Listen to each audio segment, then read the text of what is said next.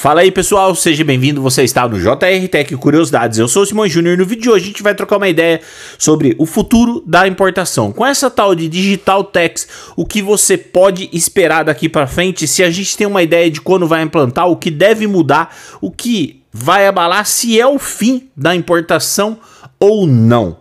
Ficou curioso? Quer saber mais sobre isso? Então se liga no vídeo e vem comigo.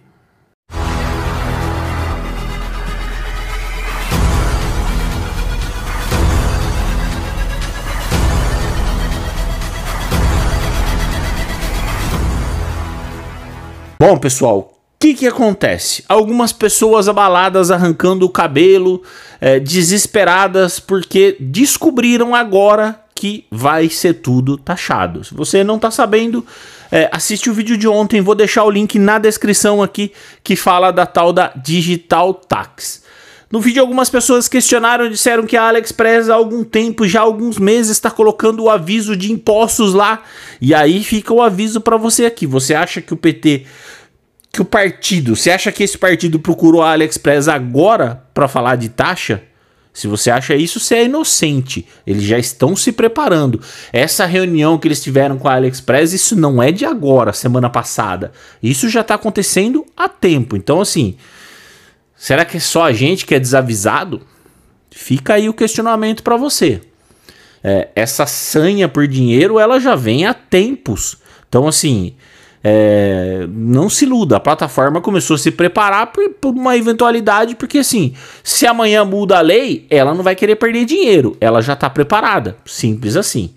Bom, Digital Tax, o que, que a gente tem de concreto?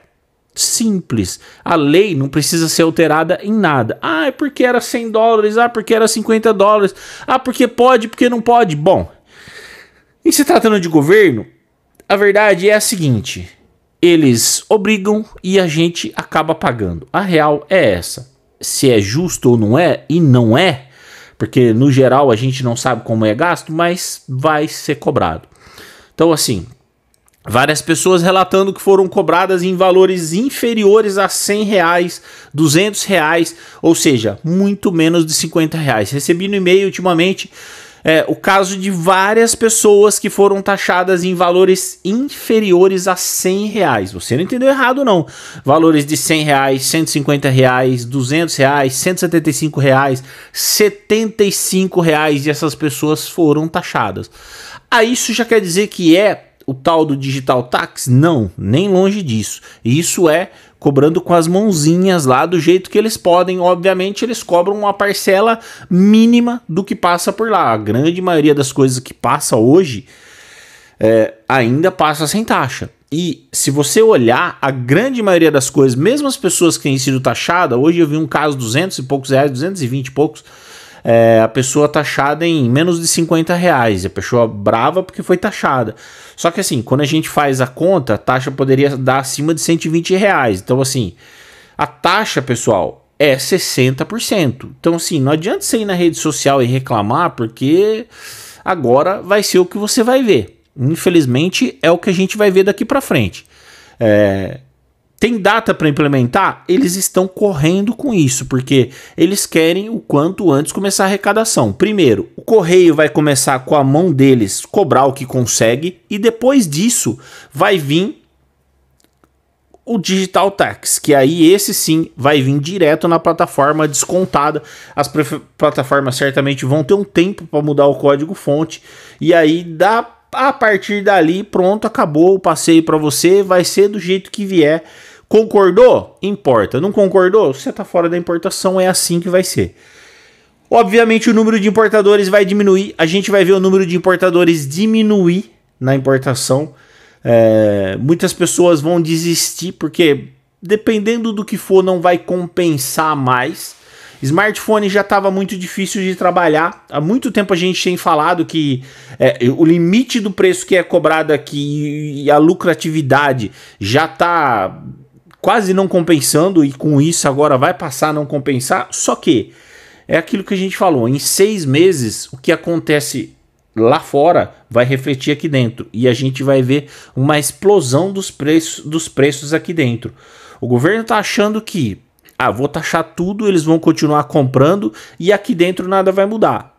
Eu acho, pelo menos, que ele está pensando isso. Ou ele é mais esperto do que a gente está achando, que também pode ser uma hipótese. Ele está fazendo isso achando que aqui dentro as coisas vão subir de preço e se subirem de preço, a arrecadação dele também aumenta. Só que aí ele castiga mais os pobres. Ah, mas ele não tá nem aí com os pobres. Ah, é, verdade, esqueci desse detalhe. Então, assim, tem essas, essas duas somatórias aí. Ele vai arrecadar uma parte vinda da importação e aqueles que duvidam, que falam assim: ah, mas só isso aí não vai dar arrecadação. Então, os preços das coisas aqui dentro também vão subir e ele vai arrecadar mais dessa maneira. Vai ajudar ele a formar o bolo do que ele precisa arrecadar. Longe, muito longe dos 300 bilhões. Mas a importação vai ficar mais difícil, mais complicada para quem acredita no tal do canal verde que eles estão anunciando, ah, você vai pagar o Digital Tax, a partir desse momento seu item vai vir e vai passar direto.